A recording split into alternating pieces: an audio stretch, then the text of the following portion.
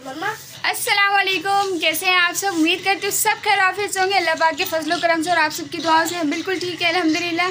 तो ये हमारे छोटे साहब ये भी आज ब्लॉग में आए हैं।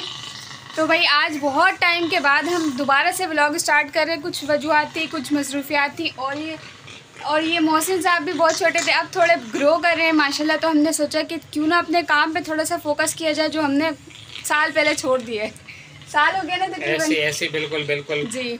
हमने तो- कहा क्यों नहीं भाई हमारे व्यूवर भी हमारा इंतज़ार कर रहे होंगे तो हमें ना व्लॉग दोबारा से स्टार्ट करना स्टार्ट चाहिए। करना चाहिए। तो मोहम्मद मोहसिन हेलो करो हेलो या। हेलो कैसे हैं आप सब? तो भाई मोहसिन जो है वो बड़े होकर आ गए हैं आप सबके लिए। तो रोज़ की रूटीन की तरह आज का दिन हमारा स्टार्ट हो चुका है। अभी जो हमने मॉर्निंग में स्टार्ट नहीं किया अभी काफ़ी देर हो गई है दोपहर हो गई है अब। तो हमने सोचा कि जल्दी से स्टार्ट करते हैं। अब जो काम करेंगे वो हम आपके साथ रूटीन शेयर करेंगे अपनी। यहाँ पे थोड़ी बहुत साफ़ सफाइयाँ हो गई हैं।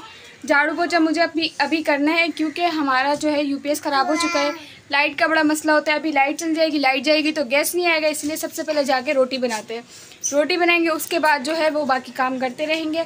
तो आप सब हमारे साथ से रहिए। जिसने अभी तक हमारे यूट्यूब चैनल को सब्सक्राइब नहीं किया तो जल्दी से सब्सक्राइब कर दीजिए। बेल आइकन प्रेस कर बेल आइकन प्रेस कर दें और अच्छी अच्छी दुआएँ करें क्योंकि आज हमारा समझे फ़र्स्ट व्लॉग है काफ़ी टाइम के बाद।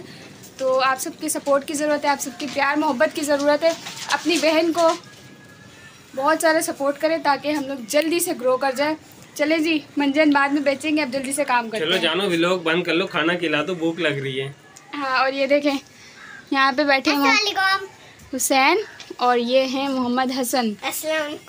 में हरी चटनी और रायता। क्योंकि हरी चटनी होती है स्पाइसी बच्चे नहीं खा पाते इसलिए बच्चों के लिए रायता बनाया है। और हम लोग खाना खाते हैं अभी रोटियाँ भी हमने जल्दी जल्दी बना ली हैं छोटे साहब भी साथ साथ हैं हमारे। मज़े से खाते हैं भाई जिस जिसने खाना है आज है मोस्ट वेलकम छब्बी में खाना। आ देसी देसी स्टाइल और बिल्कुल देसी खाना लग रहा है। गाँव का ना?